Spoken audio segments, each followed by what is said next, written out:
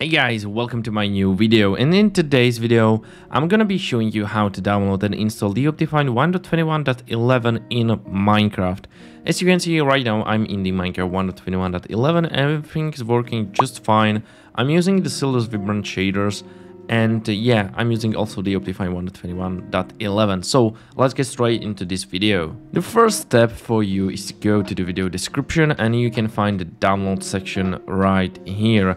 And as you can see, there's a text saying download Optifine 1.11 here and a link. So please go ahead and click on the link it'll take you to this website where you can download the Optifine for Minecraft 1.21.11. So you can go to this website and if you want to, you can read the article, but if you just want to follow my video, then simply follow me.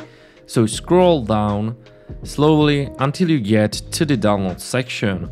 And so basically what you need to do now, and it's pretty simple, is you need to follow all of my step, okay?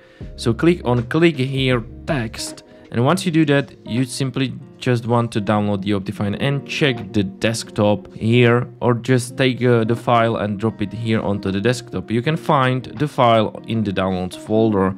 So take the file and drop it on the desktop just like I did and you should have the Optifine 1.21.11 here on the desktop.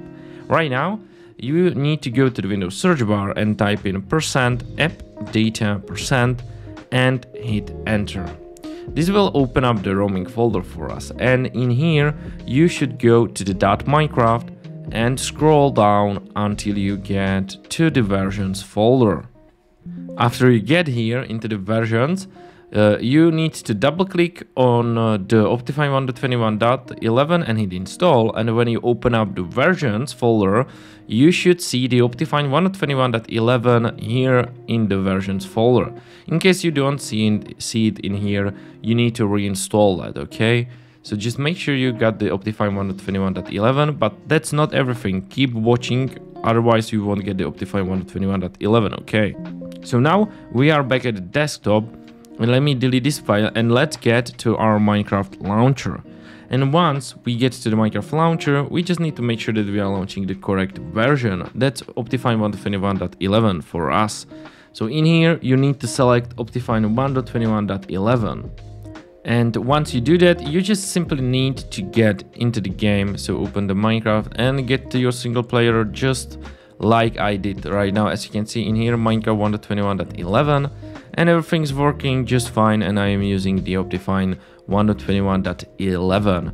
And yeah, that's basically everything for this tutorial. In case you are facing any issues, you can just let me know down in the comments and I'll help you with everything.